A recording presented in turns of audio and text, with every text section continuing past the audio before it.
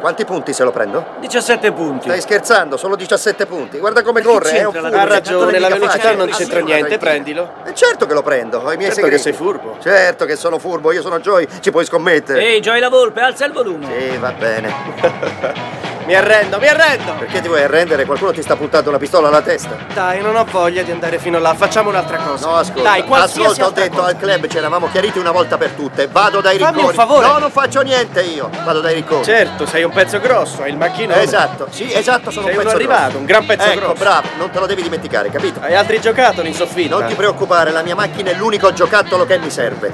È l'unico giocattolo che mi serve. Vuoi alzare quel volume? Ecco, è abbastanza alto Vorrei adesso. tanto vederti con una donna senza che tu sia costretto a Tu non pagarla. ti preoccupare se non posso avere una donna senza pagarla, non sono fatti tuoi. Neanche una per farci quattro Tu chiacchiere. non ti preoccupare delle mie donne, ne posso trovare quante ne voglio. Come no, certo. Te lo metto per iscritto. Sì, le posso Una trovare. volpe? Sì, sono una volpe. Ti frego ogni giorno della settimana. Che stupido. E non darmi dello stupido. Coglione.